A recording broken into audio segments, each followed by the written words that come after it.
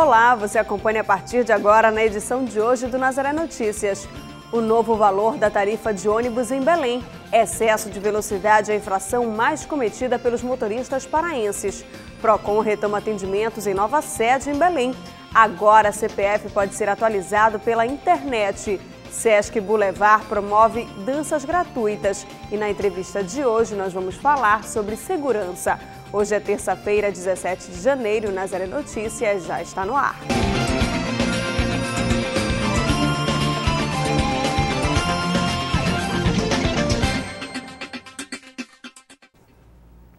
Olá, começamos o Nazaré Notícias de hoje falando da passagem de ônibus em Belém. O último reajuste no valor da tarifa ocorreu em maio de 2015, quando a Prefeitura fixou o valor do bilhete nos atuais R$ 2,70. Ontem, o Conselho Municipal de Transportes voltou a se reunir para definir o um novo aumento. Da reunião participaram 12 conselheiros. O Conselho Municipal de Transporte é formado por órgãos de trânsito e transporte público, sindicatos e departamento de economia. O Conselho recebeu duas propostas de reajuste. A do Sindicato das Empresas de Transporte de Passageiros de Belém, o Cetrasbel, que era de aumentar o valor da passagem para R$ 3,40. Já a proposta da Secretaria de Mobilidade Urbana, a CEMOB, apresentou um reajuste de R$ 3,15. A proposta da CEMOB de 3 e 15 recebeu votos de oito conselheiros. A proposta de 3 e 40 recebeu apenas o voto do Cetrasbel. Dois conselheiros se abstiveram. Segundo o DIEESE, as duas propostas apresentadas na reunião estão fora da realidade do paraense, já que os aumentos propostos estão acima da inflação, estimada nos últimos 20 meses, que é de aproximadamente 14%. Mesmo assim, o Conselho Municipal de Transportes decidiu manter o novo valor, que reajusta a tarifa no valor de R$ 3,15. Mayra Leal tem os detalhes. Larissa, esse valor de R$ 3,15 é o mesmo definido pela CIMOB. A proposta agora irá para a sanção do prefeito Zenaldo Coutinho. Lembrando que os estudos do DIEESE também serviram para base nessa proposta levando em consideração algumas recomendações para o aumento da tarifa. Uma das principais é que o prefeito discuta com os empresários do setor a qualidade do transporte público. Essa que é uma das principais reclamações do consumidor. A outra proposta, a outra recomendação é que o prefeito também leve em consideração o poder aquisitivo do usuário, sendo que, de acordo com o DIEESE, qualquer aumento na tarifa irá impactar diretamente no bolso da população. Mayra Leal para o Nazaré Notícias. A partir das 7 horas da manhã desta quarta-feira, dia 18, o trânsito na Avenida Celso Malcher, no bairro da Terra Firme, em Belém, será parcialmente interditado em virtude de obras no local. A interdição se dará no trecho entre a rua Olaria e a passagem Santa Helena e deve durar aproximadamente 25 dias, segundo a CEMOB. As linhas de ônibus que trafegam no Celso Malcher continuarão realizando as viagens normalmente. Veículos particulares devem evitar a área interditada e buscar rotas alternativas. Os motoristas que trafegam na Avenida Almirante Barroso também devem ficar atentos. Em virtude das obras do BRT, um trecho da avenida será interditado por 40 dias. Devido ao início da implantação da última estação do BRT Almirante Barroso, localizada próxima à entrada do conjunto Império Amazônico, a pista expressa e mais meia faixa de rolamento da via está interditada nos dois sentidos, no trecho entre as avenidas Tavares Bastos e Júlio César.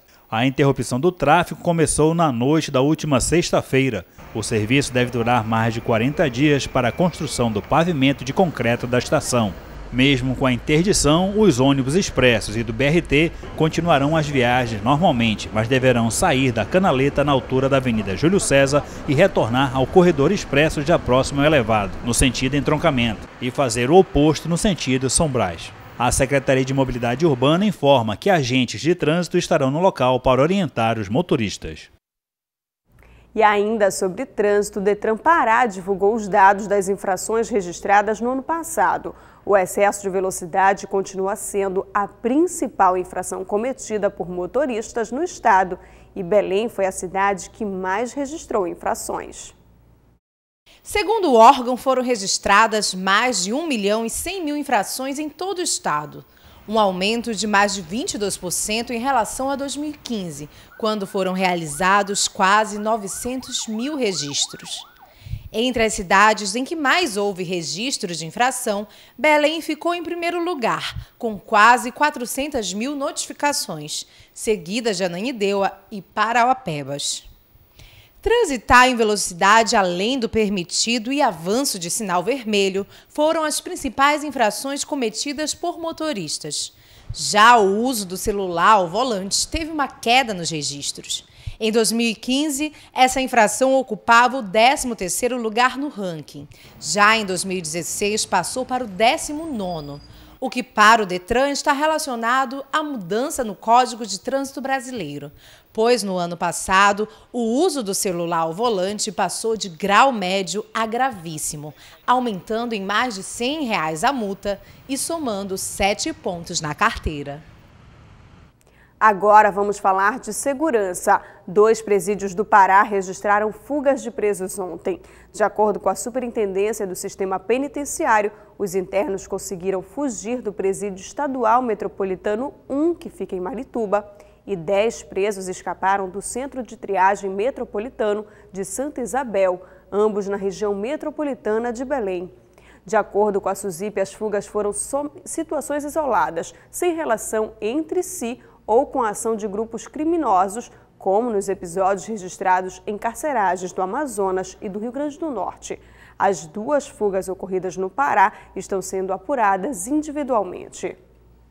E na entrevista de hoje vamos continuar falando de segurança pública. Vamos conhecer o trabalho do Centro Integrado de Operações, que agrega o trabalho de todos os órgãos de segurança aqui do Estado. Mayra Leal conversa com o diretor do CIOP, Coronel Calderaro. Não é isso, Mayra? É isso mesmo, Larissa. Todos os dias nós recebemos entrevistados sobre assuntos e temas diversos. Se você tiver alguma sugestão de tema, dúvidas ou questões, pode entrar em contato conosco pelo WhatsApp. Hoje eu converso com o Coronel Calderaro, que é o diretor do CIOP e que vai nos explicar um pouco mais sobre a importância do trabalho do Centro Integrado de Operações policiais. Coronel, obrigada por conversar conosco. Muita gente não entende a importância do trabalho do CIOP. Você poderia explicar um pouco para a gente como o CIOP age e qual é a missão dele dentro do contexto da segurança pública? Pois não. Obrigado pelo convite, oportunidade de estar é, dando essa contribuição com essas informações importantes na área de segurança pública. Muito bem, o CIOP é um centro integrado de operações. É, ele faz a mediação Mayra, entre a sociedade e o sistema de segurança pública. De forma básica, essa é a missão do centro, a comunicação. Não é? E no CIOP, nós temos reunidos todos os órgãos que compõem o sistema de segurança pública: Polícia Militar, Bombeiro Militar, Sistema Penal, Detran, enfim, todos se fazem representar nesse centro e, dependendo da demanda que chega através do serviço de call center do 190, nós demandamos esse serviço através dos órgãos que ali se fazem representar. Então, o CIOP ele atende casos de urgência e emergência, no geral? Exatamente. Essa é a missão principal do centro. Atendimento de urgência e emergência através do tridígito 190 na área de segurança pública. Certo. Por exemplo, um acidente de trânsito. A pessoa, ao invés de ligar para o bombeiro ou para o SAMU, o ideal é que ela ligue para o CIOP? Sim, todos os números agora convergem para o 190, basicamente, né? em caso de urgência e emergência.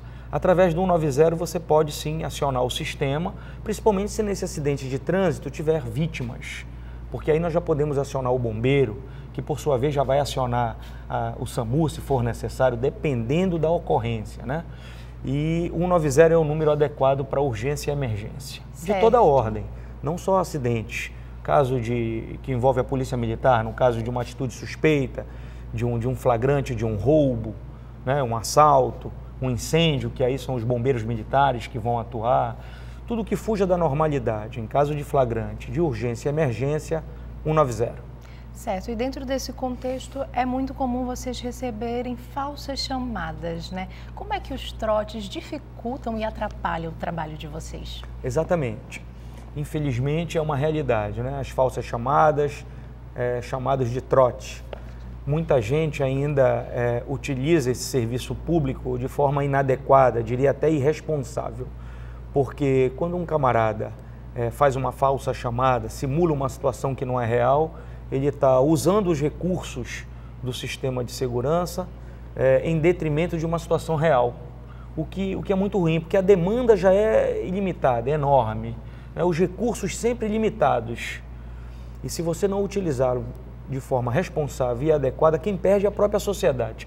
Porque você deixa de atender uma, uma situação real, concreta, em detrimento de uma situação gerada de uma falsa chamada. Isso é ruim para a própria sociedade. E, Coronel, existe alguma forma de punir as pessoas que fazem esse tipo de ação? O trote pode ser considerado crime? Vocês conseguem identificar quem são essas pessoas? Sim, o trote é crime, mas é, a maioria dos trotes são praticados por jovens, por adolescentes.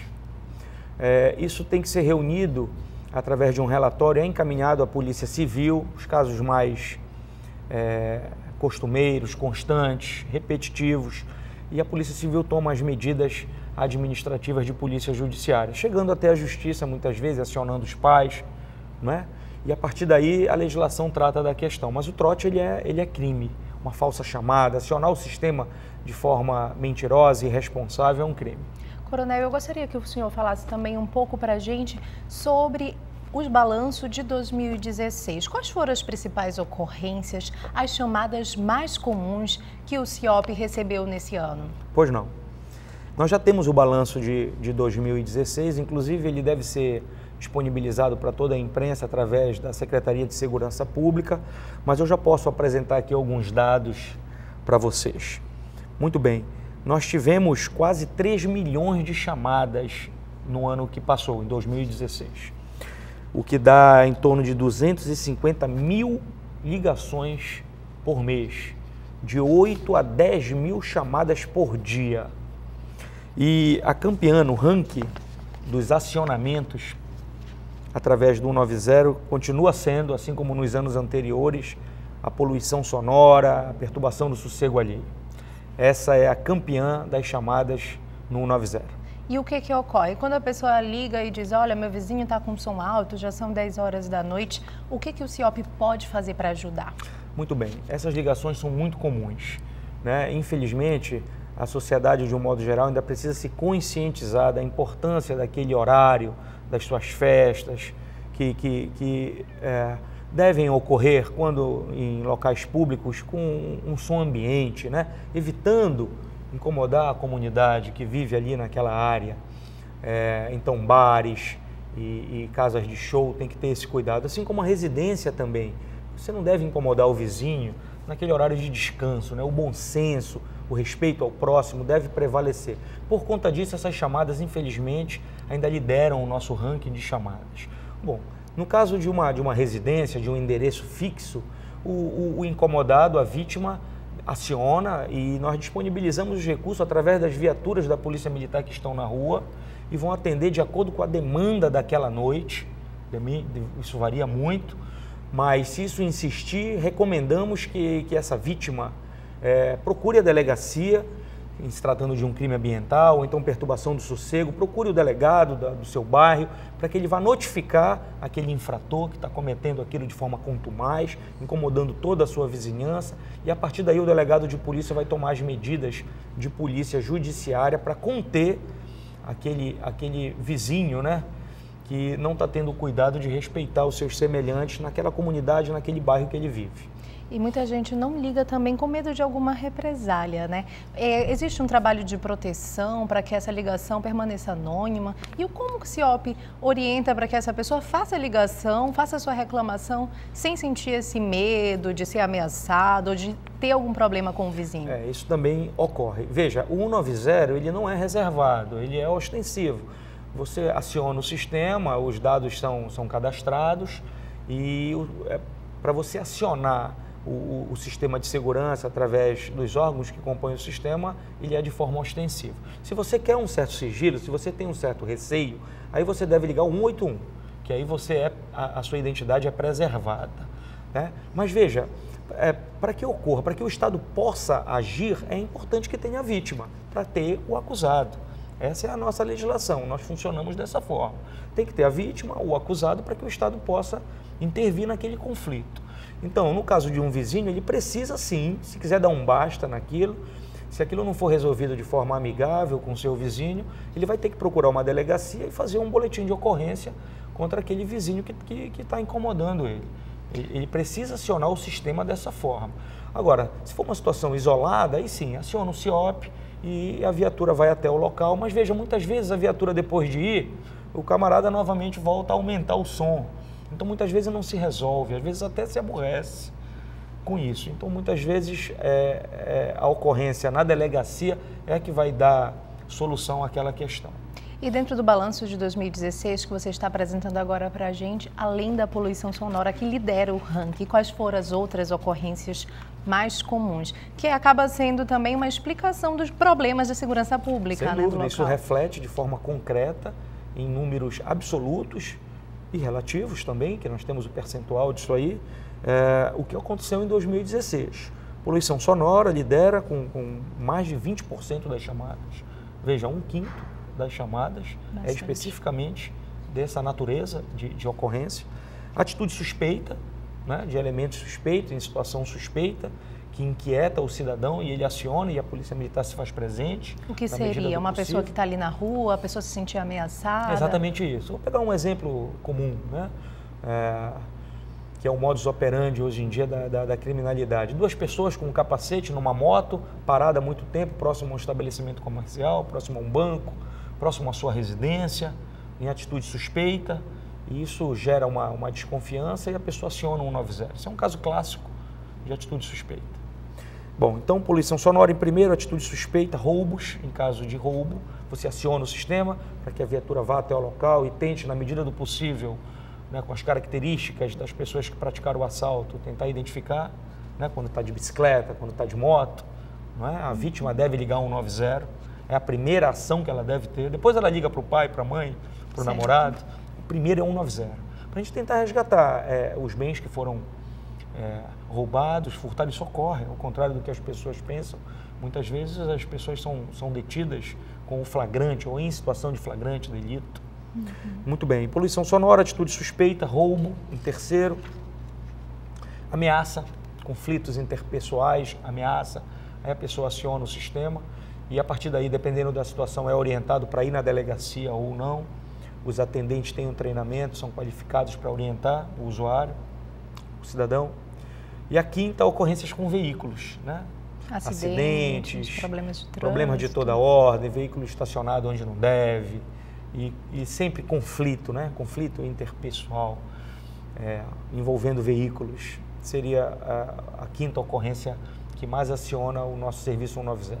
Tá certo, Coronel, muito obrigada por conversar conosco, por expor um pouco mais sobre o trabalho do CIOP. Lembrando que o CIOP também está nas redes sociais. Então, quem quiser conhecer mais sobre a importância desse trabalho e ter acesso ao balanço geral de 2016, também pode encontrar o CIOP através desses canais. Mas lembrando que as redes sociais não são fonte de denúncia. O principal, a principal forma de chegar até o CIOP é o 190.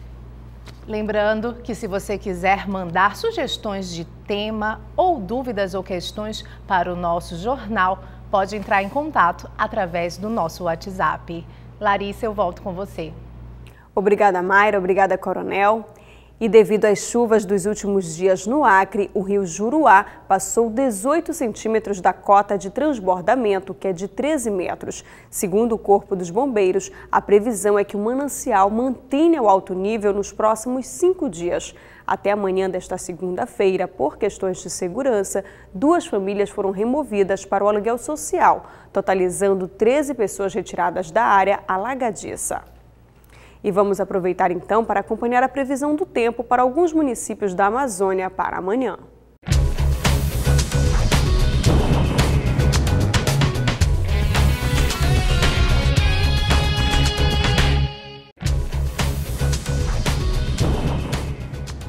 A previsão para a capital paraense é de tempo nublado com possibilidade de chuva. A temperatura mínima prevista é de 23 graus com máxima de 33.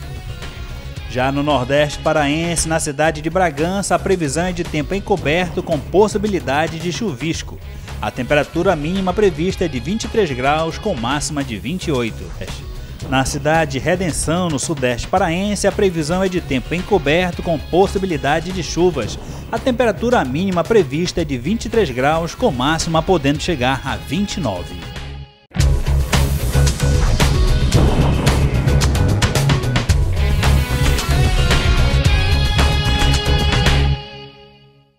Ainda sobre o clima, a erosão causada pela cheia do rio Amazonas e as fortes chuvas que caem no arquipélago do Bailique, a 180 quilômetros de Macapá, ameaça cerca de 40 casas que correm o risco de desabar, segundo o levantamento feito pela Defesa Civil da capital. O fenômeno conhecido como terras caídas está destruindo passarelas construídas às margens do rio. As residências estão localizadas nas comunidades de Vila Macedônia, Vila Progresso, Limão do Curuá e Itamatatuba. Na sexta-feira, uma força-tarefa montada pela Prefeitura de Macapá, coordenada pela Defesa Civil, foi até o distrito para auxiliar os moradores. Um sonho de quem quer fazer balé no Brasil é entrar para a escola do Teatro Bolshoi, que todos os anos seleciona crianças das regiões brasileiras para iniciar um período de oito anos de aprendizado. Neste ano, Pará contou com a aprovação de seis representantes. Da leveza da arte à técnica. O balé tem como princípios básicos a postura ereta, rotação dos membros inferiores, verticalidade do corpo, disciplina, leveza e harmonia. Conjunto encontrado nessas crianças. Na faixa etária de 10 a 12 anos, elas mostram talento e compromisso. Postura que as levou a realizar um sonho, entrar para a Escola de Teatro Bolshoi. A gente começou a se preparar em julho, né, com um curso de verão de danças clássicas e contemporâneas que tem aqui em Belém, que acontece que eu promovo, né? E no final desse curso, a gente teve uma felicidade muito grande da Escola Teatro Bolshoi é, do Brasil entrar em parceria com a gente para poder trazer essa pré-seletiva regional, né, para Belém. E isso a gente englobou em torno de 153 bailarinos do Norte e Nordeste. Foram quase 2.600 inscritos. Desse total, 650 chegaram às seletivas em Joinville.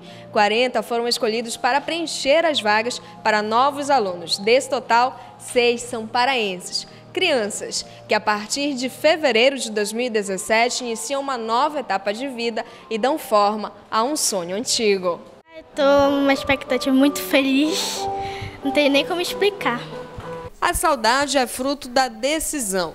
Tão jovens, mas já com um grande compromisso. A maioria dos paraenses aprovados vai ter que se mudar para Joinville, em Santa Catarina, sem a família.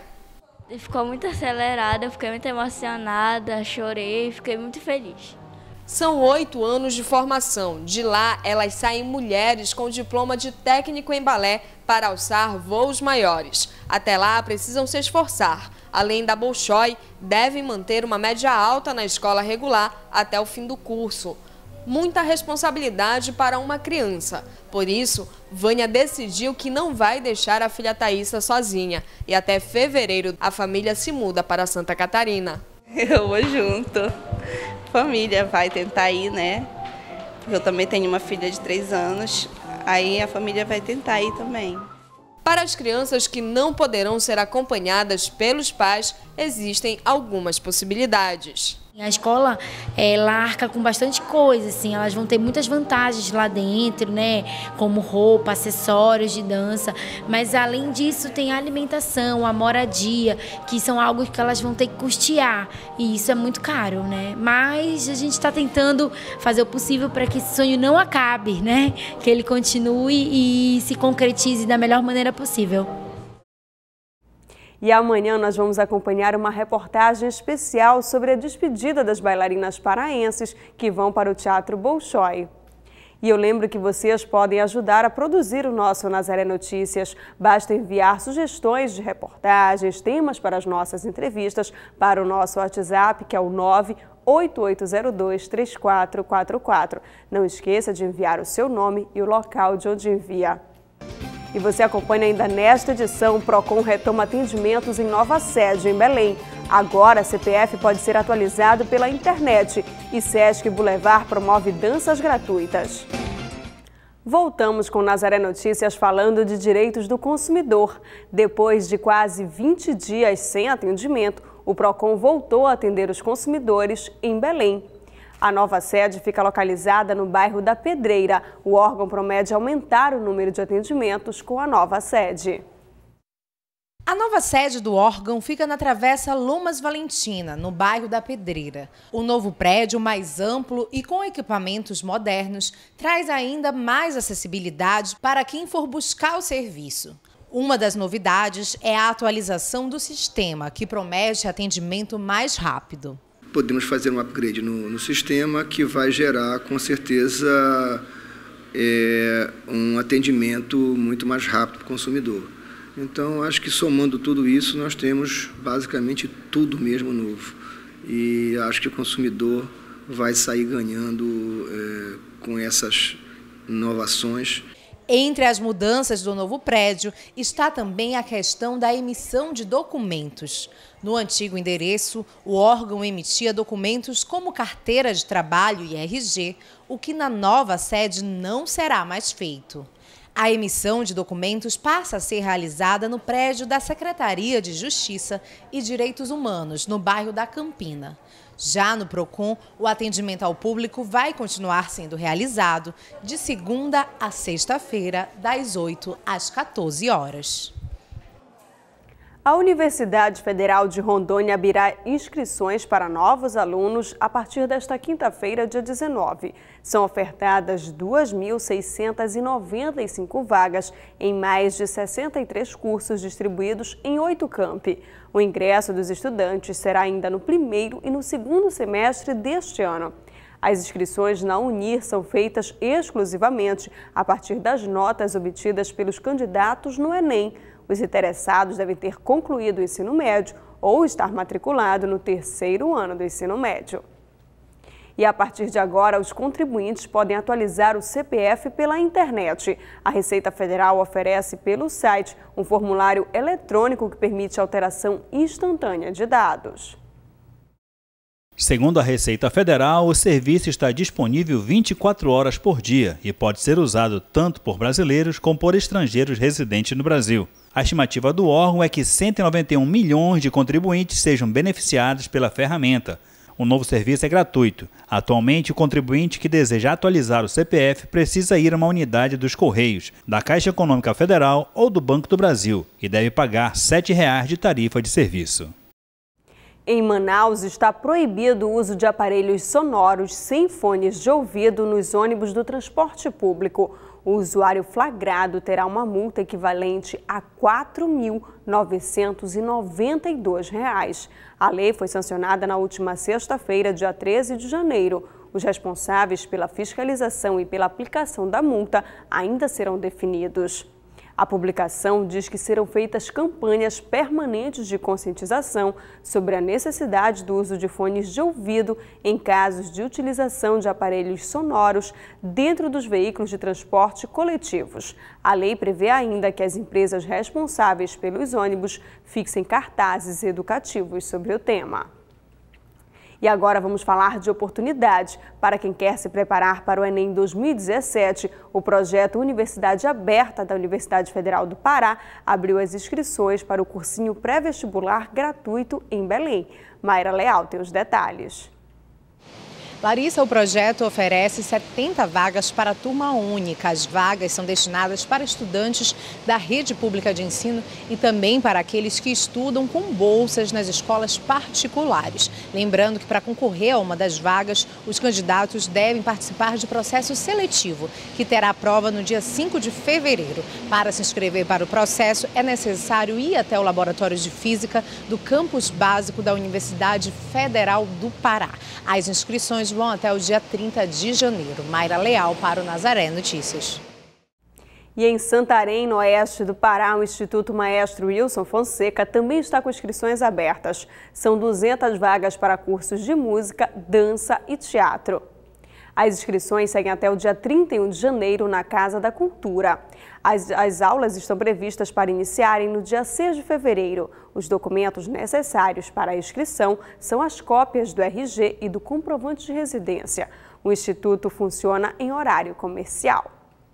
E falando em atividades artísticas, a dança é uma das mais procuradas. Em Belém, o Sesc Boulevard oferta aulas gratuitas de várias modalidades.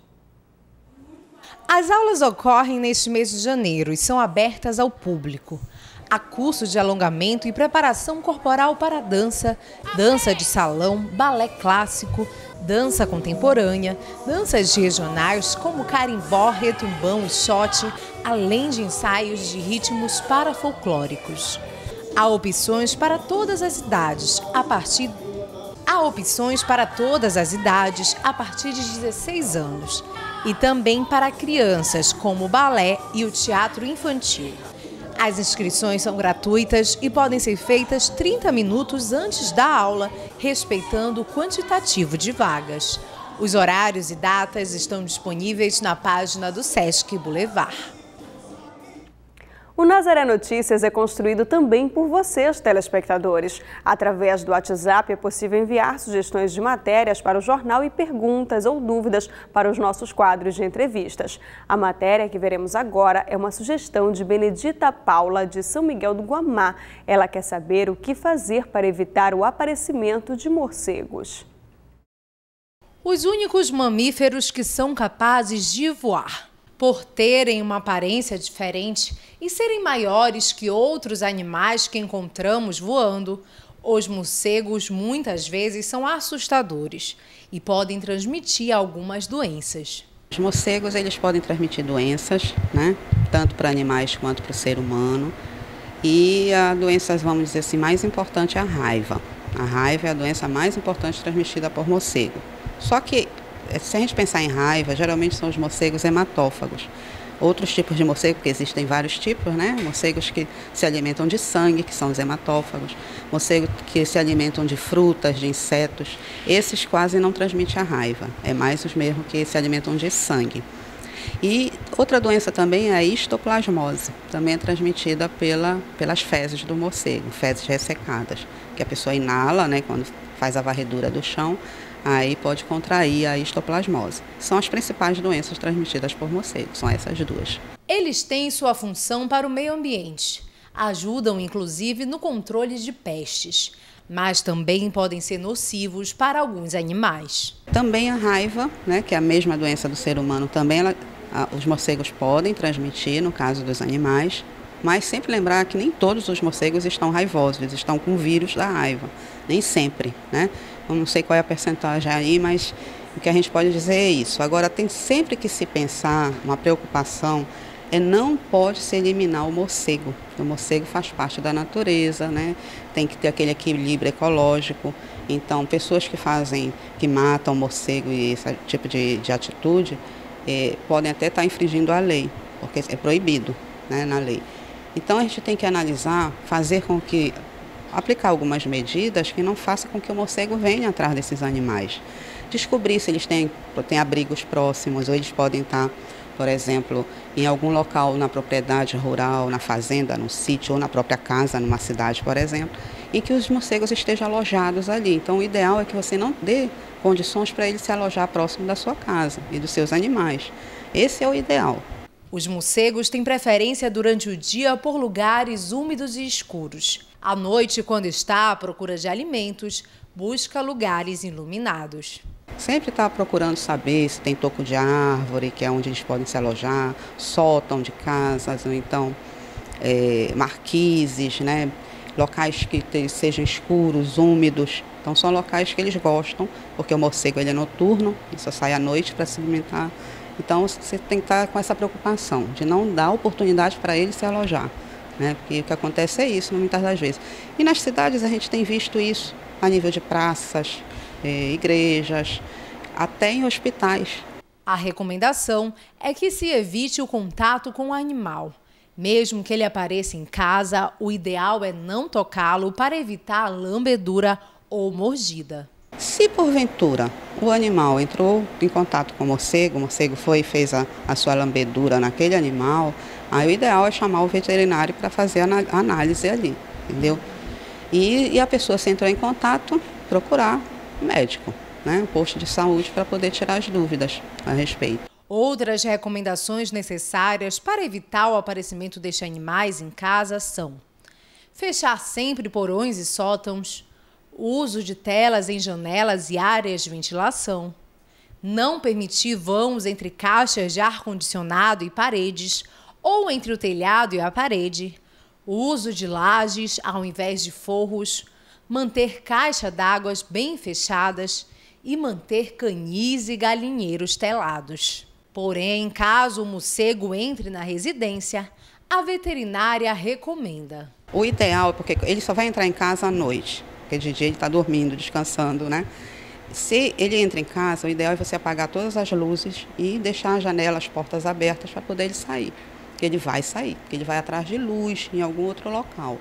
Entendeu? Então o ideal é fazer isso. Nada de vassoura para tentar matar o pobrezinho que não tem como.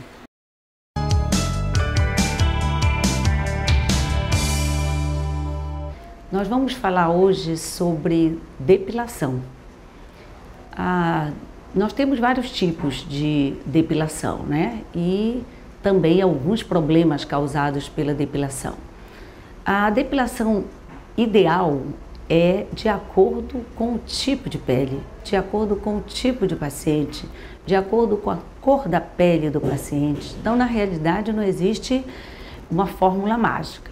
É, hoje em dia, inclusive, cada vez mais nós estamos tendo mais problemas né, com depilação, porque com a, uma grande adesão dos homens também a essa prática, nós estamos, problemas que antes tínhamos mais com as mulheres, estamos tendo também agora com os homens.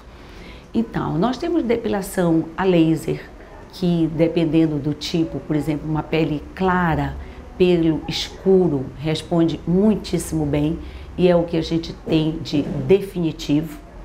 Nós temos eh, também eh, depilações com aparelhos são similares eh, ao laser, que são foto, através de, de, uma, de um tratamento com uma fototerapia, você pode ter um afinamento dos pelos e os pelos ficarem bem, bem rarefeitos, isso também pode ter alguns efeitos colaterais se não for aplicado é, em uma pele adequada.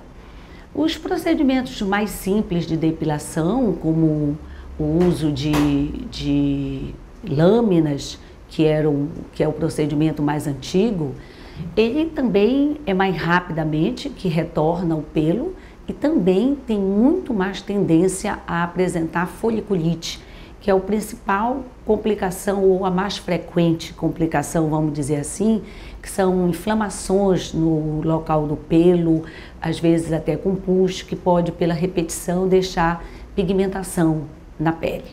E também as ceras, que são também técnicas utilizadas não definitivas, ah, cera quente, cera fria, são doloridas, não são definitivas também, também tem seus prós e seus contras. Alguns pacientes, por exemplo, vão fazendo um tamponamento com aquela cera e podem começar a apresentar no futuro problemas. Enfim, as técnicas são variadas e elas dependem do tipo de paciente, do tipo de pele, para poder se saber o que é o mais adequado. Mas acima de tudo, o que eu recomendo seja qual opção que você faça, procure um local onde você tenha certeza que é um ambiente higiênico, que te, conta com pessoas preparadas. Não se entregue sem saber exatamente a quem você está se entregando, essa é a verdade.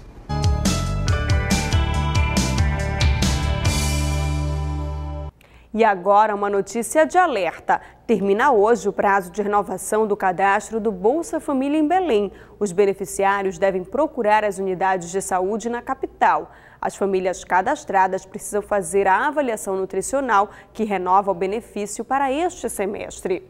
A avaliação consiste na verificação do estado nutricional e a cobertura vacinal de crianças menores de 7 anos e do acompanhamento pré-natal para as gestantes. Até a última terça-feira, mais de 25 mil famílias já haviam feito a avaliação, o que equivale a 26% da meta mínima.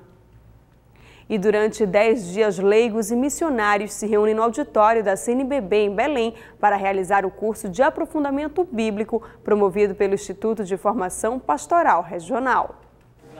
O curso que teve início no último dia 13 e segue até o dia 23 de janeiro é destinado a missionários, leigos e assessores de prelazias, paróquias e comunidades. O estudo bíblico é direcionado e dividido em três etapas. A primeira etapa é sobre a formação do povo de Deus, em uma introdução à Bíblia até o exílio pós-exílio.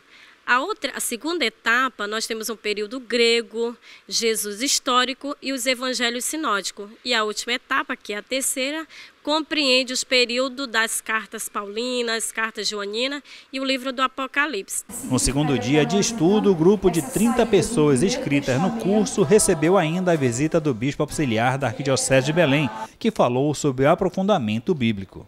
Ele é de grande importância, sobretudo, para que as pessoas possam vivenciar a palavra de Deus. Porque o que eu mais vejo é a necessidade da palavra de Deus chegar nas mãos das pessoas. Porque a palavra de Deus é vivida, assumida na vida das pessoas, ela se torna um instrumento é, de, de transformação da própria vida das pessoas por causa da intimidade com a palavra, da vida de oração. Durante o estudo, colaboradores do Instituto de Formação Pastoral Regional, vindo de todos os estados do país, dão embasamento teórico que a comunidade precisa para viver o Evangelho. Um grande aprendizado de valores, conhecimento, né? e isso é o que me empolga a me preparar para que também eu possa contribuir lá na minha comunidade, na minha diocese, com o povo com quem a gente convive e trabalha. Ainda em homenagem ao aniversário da capital paraense, que completou 401 anos na última quinta-feira, vamos acompanhar agora uma reportagem especial que aborda o nosso jeito peculiar de falar. Nosso linguajar é próprio, nosso sotaque é único e nossas gírias inconfundíveis. Belém tem um vocabulário carregado que mostra a riqueza linguística de nossa cultura popular.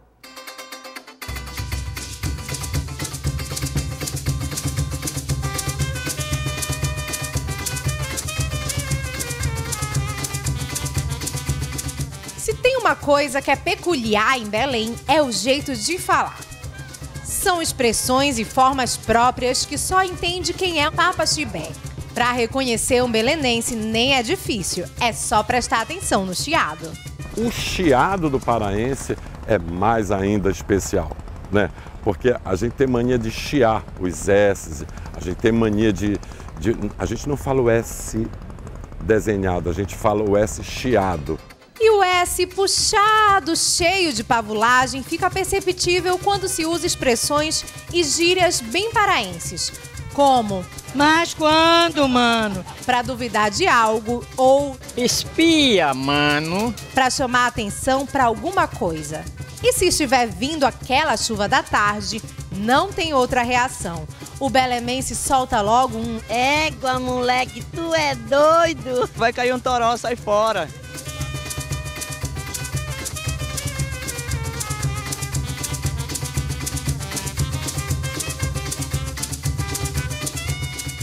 O égua é a nossa vírgula, não tem jeito.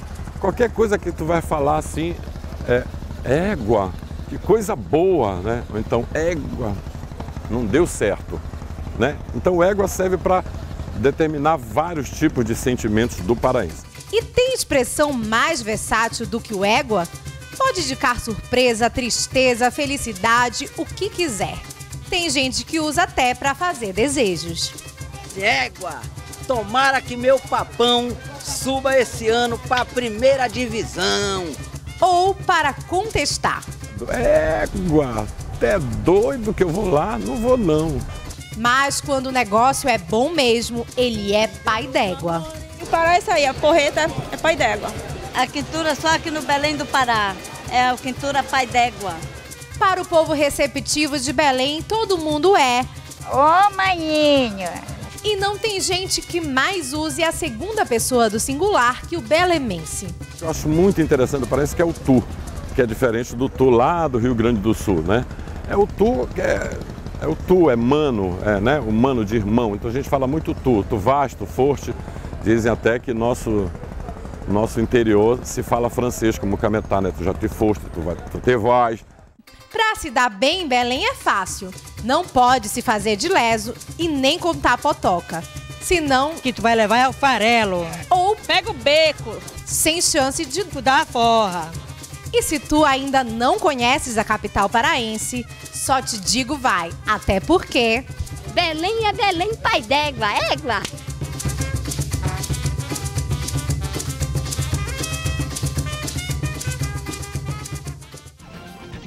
E essas foram as notícias de hoje. Para dar sugestões de reportagens, envie para o nosso WhatsApp 988023444.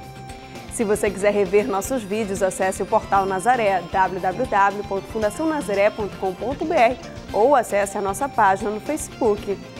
O Nazaré Notícias de hoje fica por aqui.